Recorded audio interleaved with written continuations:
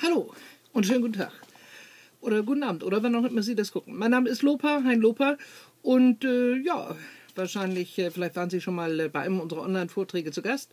Oder vielleicht sogar Stadtführungen oder, ja, na, Sie wissen schon, was ich meine. Ähm, heute hören Sie mal wieder einen ähm, neuen Vortrag aus der Reihe Hein Lopa über. Sie wissen, das haben wir mal ausprobiert. Das ist ein Vortrag online. Da können Sie kostenfrei mit dabei sein. Und äh, wissen Sie was? Wenn Sie beim Theater Interaktivo auf die Homepage gehen, da unten drunter sind da diese weißen Kästchen.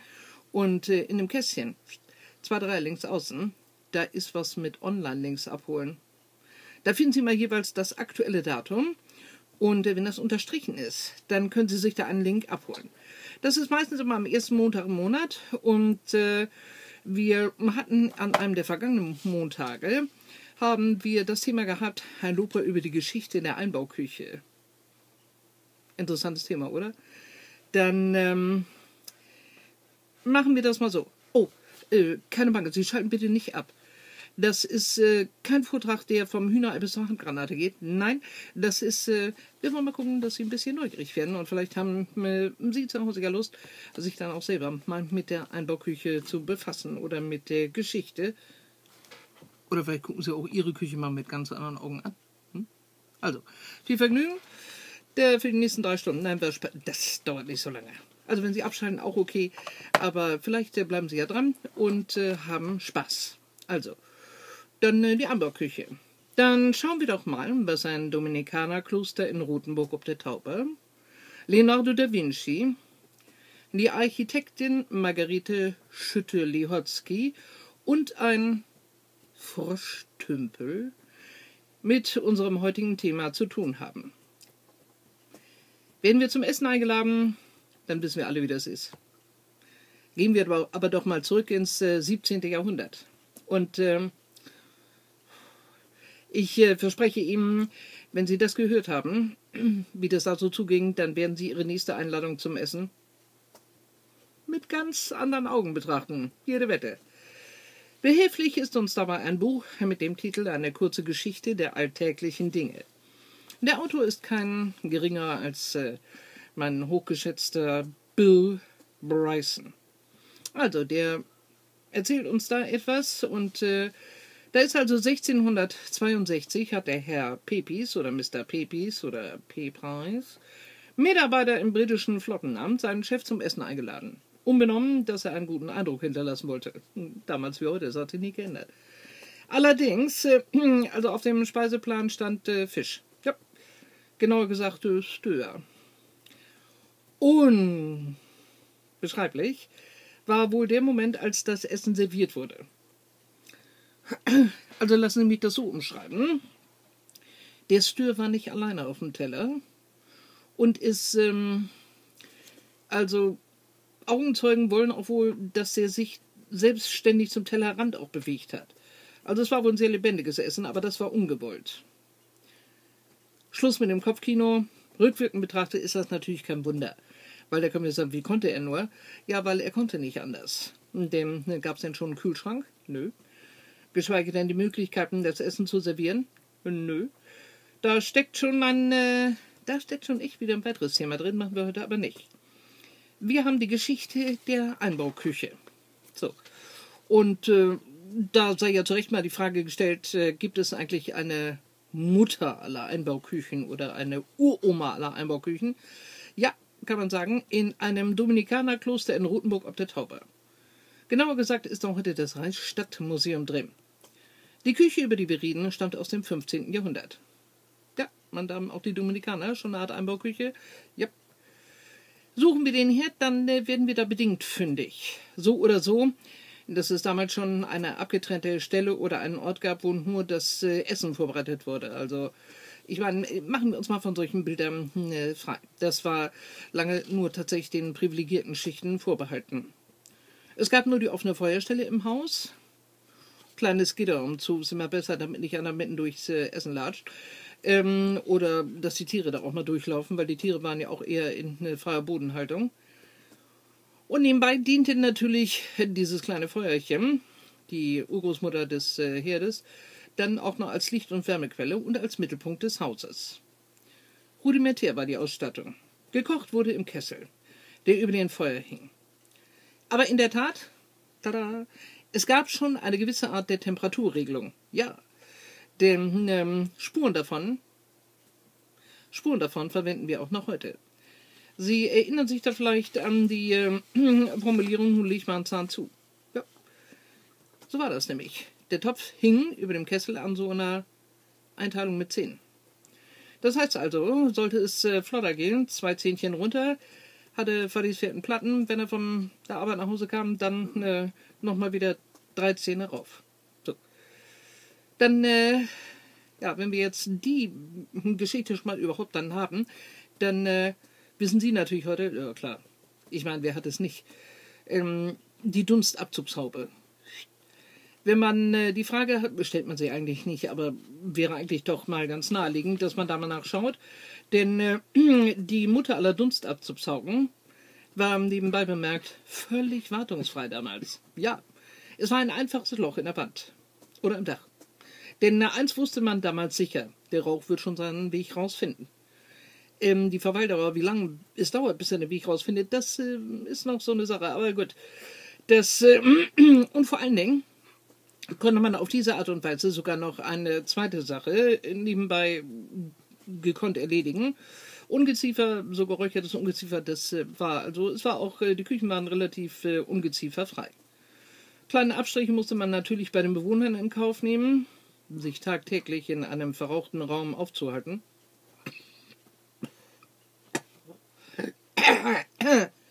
Das können wir uns vorstellen, war der Gesundheit nicht zuträglich. Jedenfalls hat es gedauert, bis man Wohn-, Stube und Küche räumlich voneinander getrennt hat.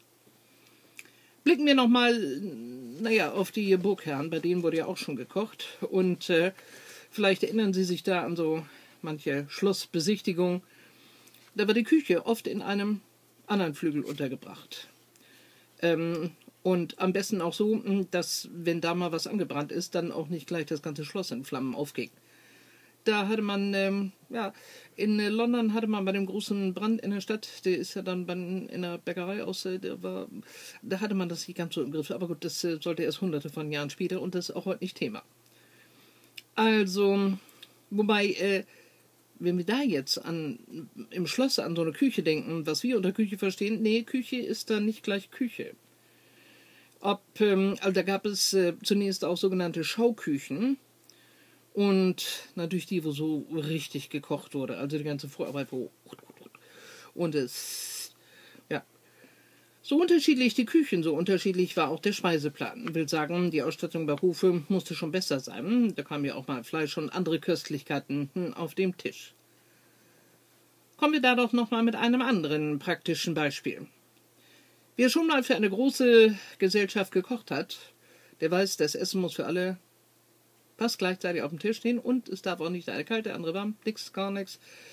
Das, äh, und vor allem, es wäre ja auch besser, es müsste reichen auch. Deswegen, ähm, Sie kennen da vielleicht so einen Spruch, da haben wir einen tollen gefunden.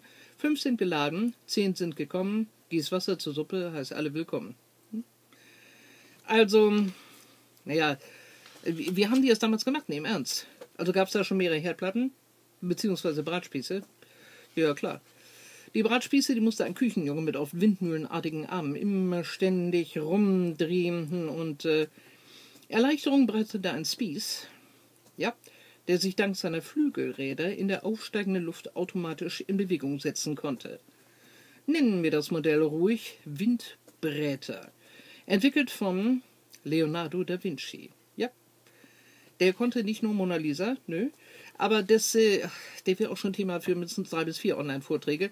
Denn was er so alles erfunden hat, die Bremse an der Mühle und so weiter. Ja, ja, so, Mühle am Wald muss ja auch gebremst werden, Leonardo. Aber das ist ja heute auch nicht Thema.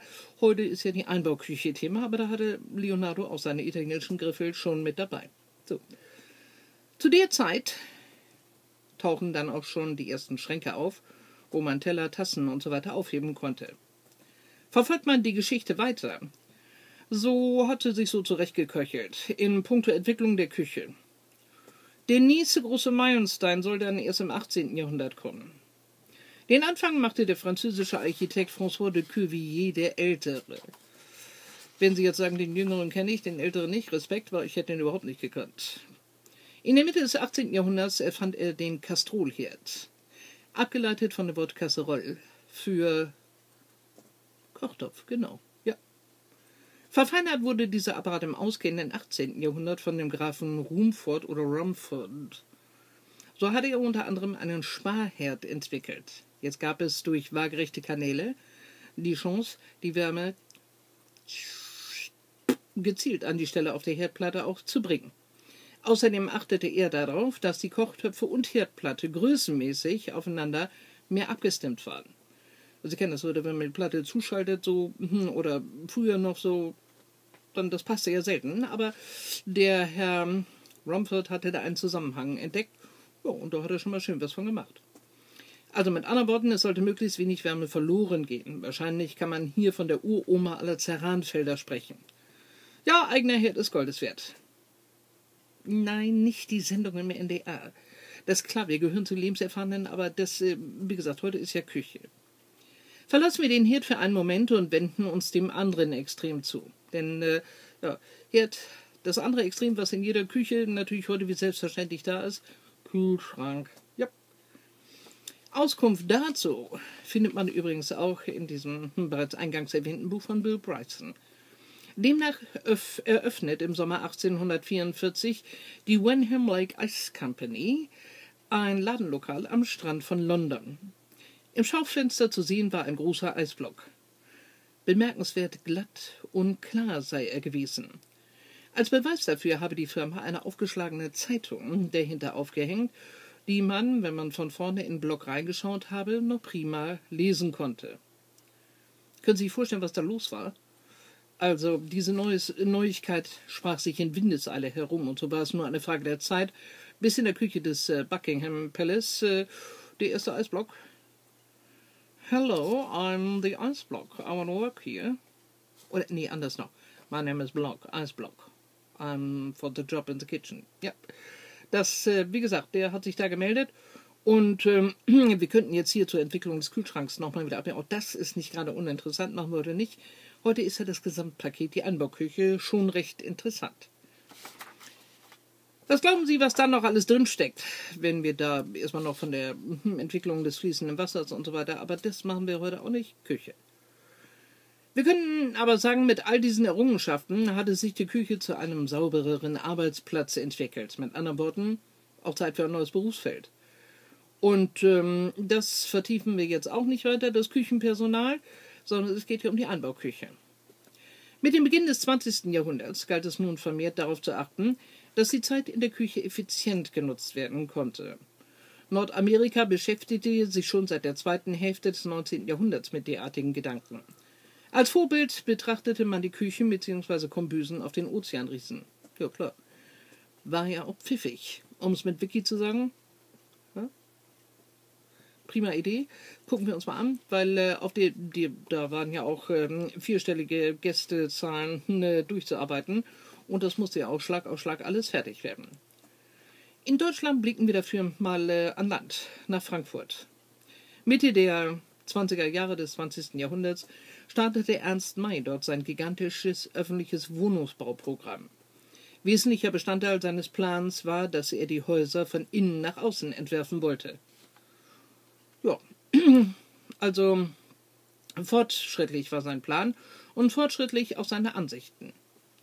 In Österreich arbeitete zu dem Zeitpunkt bereits seine Architektin. Ja, Sie haben keinen Hörfehler, Architektin, in der Tat. Laut ihrem Eintrag im Internetlexikon Wikipedia war sie die erste Frau, die in unserem Nachbarland vollumfänglich, vollumfänglich, also diesen Beruf nicht nur studiert, sondern auch ausgeübt hat. Und sie konnte davon leben. Ihr Name Margarete Schütte-Lihotzky. Werfen wir einen Blick auf ihre Lebensdaten. Sie ist Jahrgang 97. 1897 und verstarb 00. Ja. War noch ein kleiner Blick. Das, ja, jetzt haben es alle. Genau, sie ist 103 geworden. Was für ein gesegnetes Alter. Auch hier würde sich eine Abzweigung anbieten, denn Frau Schütte-Lihotzky, sie hat nie mit Franz Schütte ist da nichts. Also nur weil wir hier aus Bremen das Ganze machen, ne, ist nicht alles mit Schütte. Nein, nein. Frau Schütte-Lihotzky hat also wir konzentrieren uns mal auf ihre Küchenarbeit im wahrsten Sinne des Wortes, denn ähm, ja, sie hat da, sie ging systematisch an ihre Aufgabe heran. Und äh, wie hat sie das gemacht? Erinnern Sie sich, in Amerika hat man sich für die äh, für den Blick in die Kombüse entschieden, weil man sich ja auch dachte, prima, wenig Platz, viele Leute, die da irgendwie was machen müssen, wie können wir das aufs Land adaptieren? Frau Schütte-Lihotzky machte das anders. Sie ging in den Zug. Ja, und sie ging in den Metropa Speisewagen. Und den hat sie sich genau angeschaut. Darüber hinaus stoppte sie nun jeden Handgriff mit der Uhr exakt ab. Dabei achtete sie immer auf eine mögliche Arbeitserleichterung. Gönnen wir uns einen Moment. Kopfkino. Hm? Also entweder hat sie das alles alleine gemacht, ob sie so gefahren hat oder nicht, weiß ich nicht. Aber ähm, sie war jedenfalls äh, ganz kräftig dabei. Fragen Sie sich, wo das hingeführt hat? Ja, zur Mutter aller Einbauküchen. In die Geschichte ist sie eingegangen als die Frankfurter Küche. Den Begriff können Sie gerne als Suchbegriff verwenden. Wenn Sie vielleicht, äh, können Sie ja gerne parallel machen, sich hier um so ein Ding auf, so ein Tab und äh, geben ein und äh, dann können Sie Frankfurter Küche, wenn Sie zwei sagen gleichzeitig können, Respekt. Dann ähm, ist, ich meine, der Eintrag im Internetlexikon Wikipedia ist schon beeindruckend. Hinweisen zufolge nahm man den Küchenentwurf in Deutschland zwiegespalten auf. Ah, da wurden wir wieder unserer Rolle völlig gerecht. Gemeckert wird ja immer recht flott. Und ähm, wie heißt es da, trotz durchschlagendem Erfolg bleibt die reine Arbeitsküche, abgetrennt vom Wohnraum, nicht völlig kritiklos. Es fehlte an Gemütlichkeit. Und viele vermissen das Essen in der heimischen Küche. Hinzu kommt, wie können beim Kochen die Kinder auf so knapp bemessenem Raum überhaupt ausreichend beaufsichtigt werden? In Frankreich, der andere Nachbar, war man très begeistert, très maison. Und ab dem Moment gab es keinen sozialen Wohnungsbau mehr ohne die Frankfurter Küche. Sogar skandinavische Designer kopierten die Arbeit von Frau Schütte-Lihotzky. Wer sich damit noch weiter beschäftigen möchte, dem sei die Online-Lektüre des Magazins Monumente von der Deutschen Stiftung Denkmalschutz empfohlen. Besonders jedoch die Ausgabe Dezember 2017. In den 70er Jahren des 20. Jahrhunderts hat sich der bekannte Designer Luigi Colani mit der Einbauküche befasst. Herausgekommen ist aber etwas, was Frau Schütte-Lihotzky gefallen hätte, und zwar eine Weiterentwicklung ihrer Frankfurter Küche in ähm, damit wir uns das heute besser vorstellen können, in eine Frankfurter Küche 2.0, wenn nicht sogar 4.0. Bodenständiger ist da der Herr Eicher in die Küchenarchitekturgeschichte da eingegangen zur Einbauküche. So war es ihm wichtig, die Küche wieder in das soziale Leben einzubinden. Der Herr Ottel Eicher war übrigens Mitbegründer der berühmten Ulmer Hochschule für Gestaltung. 1982 veröffentlichte er folgendes: Zitat die Küche zum Kochen, das Ende der Architekturdoktrin. Zitat Ende. Das war eine Studie für den Küchenhersteller Bulthaup. Wenn Sie jetzt das T suchen, ist nicht runtergefallen, das äh, klärt sich noch auf. Darin erklärte er die Ein-Personen-Küche und Schrankwände für überholt. Hat sie erledigt. Er plädierte für individueller kombinierbare Module, für Verfügbarkeit statt Aufgeräumtheit. In Zeiten, in denen die Küchenarbeit nicht mehr allein der Frau unterlag, sondern gemeinsam praktiziert wurde, wollte er einen Werktisch im Zentrum platzieren. Eben ist äh, zum ersten Mal der Name eines äh, Küchenherstellers dazu gefallen, so ganz nebenbei. Also das, äh, wie gesagt, Bulthaupt. Wie gesagt, ohne, ganz wichtig, ohne T. Warum klärt sich gleich? Lange drüber nachdenken braucht man ja nicht. Ähm, also vereinzelt kann man das ja heute noch sehen. Linie 4, also wenn die da oder mit dem Auto da vorbeifahren, da in der Neustadt, da ist äh, Simatik, Pongpool da an der Ecke. Und ähm, Klar, wir könnten jetzt über alle irgendwie nochmal ein bisschen äh, sprechen, aber wir schauen mal in die Firmengeschichte der einzelnen Betriebe. Beginnen wir doch mal mit Simatik. Sie wissen, welches Haus in Neustadt. Friedrich-Ebert-Straße, genau. Und äh, da ist äh, hm, dieser Sportladen, Sportkarls, da gegenüber die Ecke. Das Haus ist von Böller-Menknes gebaut. Das äh, ist, äh, ja, es geht heute nicht um Bremen, es geht heute um die Anbauküche. Also Simatik. Die sitzen in Nordrhein-Westfalen. Der Filmgründer ist der Herr August Siegmann. Siegmann. Begonnen hat er Ende der 20er Jahre. Eigentlich hatte er Möbelwerker, aber seine Spezialität waren eben Küchen. Ja. Seine ersten Küchenmodule trugen die Namen Erna, Hannelore und Ruth. Äh, ja, wir lassen das mal kommentarlos so stehen. Der Zweite Weltkrieg brachte bei den Siegmanns alles zum Erliegen. Aber Küchen wurden ja nun erfahrungsgemäß immer gebraucht und äh, da ging es 1946 schon direkt wieder weiter. Erster viel beachteter Aufreger war 1960 die erste Küche mit integrierter Griffleiste. Wahnsinn. Heute hält es da alle noch deutlich auf dem Sessel zurück, aber damals war Hysterie pur. Außerdem nutzte man das Ergebnis, um den Namen Simatic oder Simatic einzuführen. Natürlich nicht ohne Hintergedanken. Der Name Simatic oder Simatic geht einem, Inter Inter einem internationalen Kundenstamm leichter über die Lippen. Mit dem Erzielen der 100 Millionen Mark Umsatz ging man daran, Tochtergesellschaften in anderen europäischen Ländern zu gründen, Ende der 70er Jahre erfolgte der Eintritt in den US-Markt. Das war also das Ende für Erna, Hannelore und Ruth. Ne, die ähm, Küchen bekamen natürlich andere Namen. Seit 2017 ist die äh, Nissan Group der Hauptanteilseigner von Siebenmatic. Die Familie Siegmann hat die Familienanteile jedoch behalten. Wichtigstes Merkmal bei Siebenmatic die Küchen werden heute nicht mehr wie anfänglich mit Vornamen betitelt, sondern man konzentriert sich auf Stilwelten. Ja, das klingt ähm, anders. Also so steht zum Beispiel die sandfarbene SC15 mit Kunststoffoberflächen und einer Arbeitsplatte aus äh, Mosaik im Apostolischen Palast. Ja, nicht hier irgendwo, nein. In Rom. Ja, und äh, im Vatikan.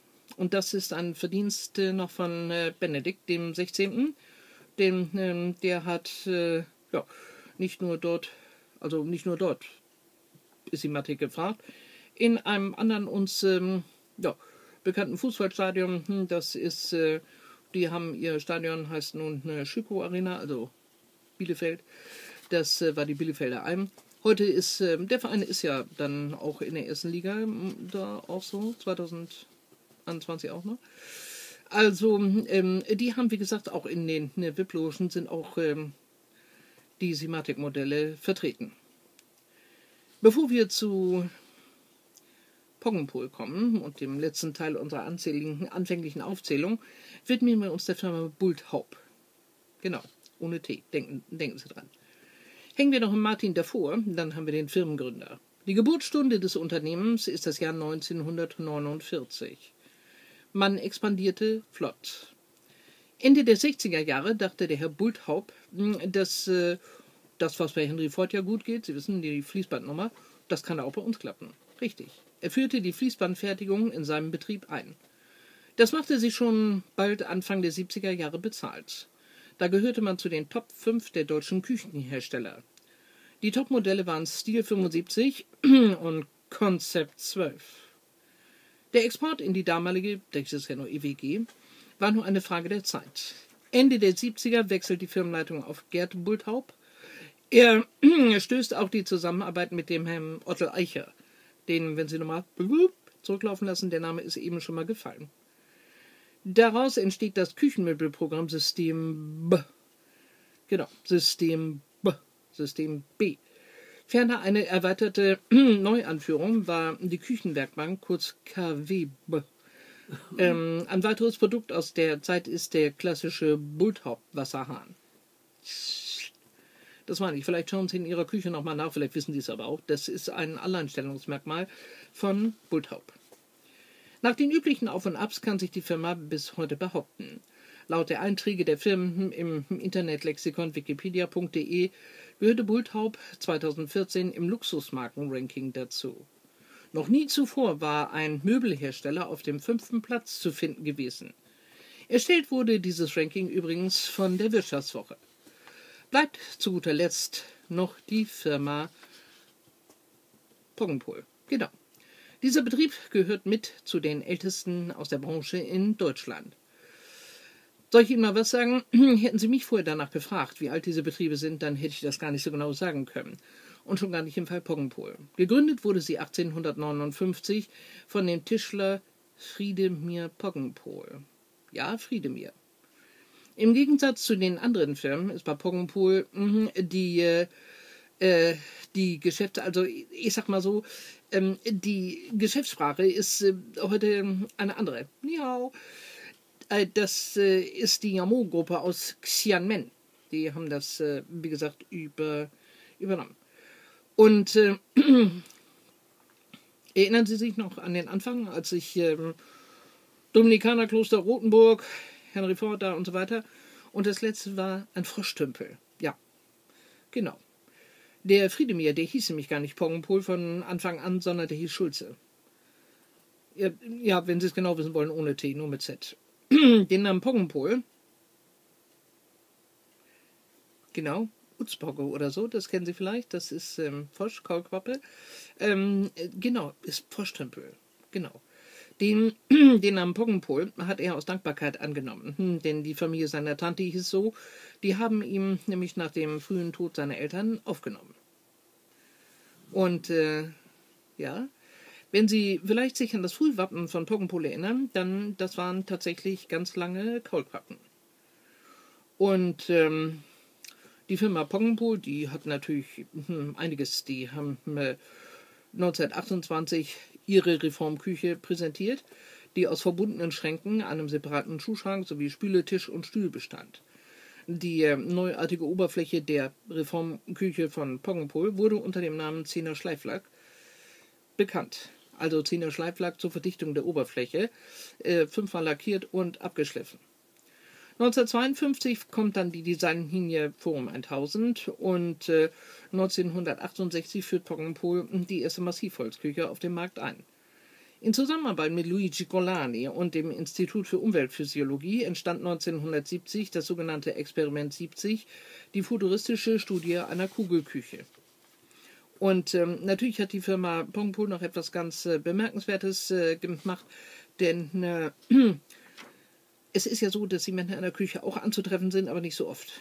Und äh, Poggenpool hat zusammen mit einem Automobilhersteller eine schnittige Küche entwickelt. Ich sage nur Stichwort Porsche Design. Wenn Sie da nochmal was nachschauen möchten in der Angelegenheit, gerne. Das lohnt sich, das ist sehr interessant. Pongpol wird übrigens auch ausschließlich in Deutschland produziert und äh, Pongpol verwendet nur Hölzer aus nachhaltiger Forstwirtschaft. Und äh, jetzt ist vorbei. Eine kurze Einführung in die Geschichte der Einbauküche. Wenn Sie Lust haben, dann wünsche ich Ihnen viel Spaß bei Ihren weiteren Forschungsarbeiten. Unser nächstes Thema, das äh, finden Sie immer auf äh, der Homepage von Theater Interactivo. Zwei, drei unten links die Online-Angebote, wo Sie, wo Sie sich den Link selber abholen können, weil das ist toll. Sie müssen keinen Link schicken. Also keine E-Mail schicken, damit Sie den Link kriegen. Nee, können Sie sich selber abholen. Und ähm, falls es nochmal irgendwie nicht klappen sollte oder so, hey, rufen Sie an, weil da ist schon jemand dran, weil der Vortrag wird ja immer hier gehalten in diesem Umfeld. Also in diesem Sinne, vielen Dank, einen schönen Abend noch und äh, das wäre jetzt ein bisschen platt, wenn ich sage, ich muss jetzt in die Küche, ne? Ja, auch wenn es draußen schon ein bisschen dunkel ist, aber nein, wir machen jetzt für heute erstmal hier Schluss.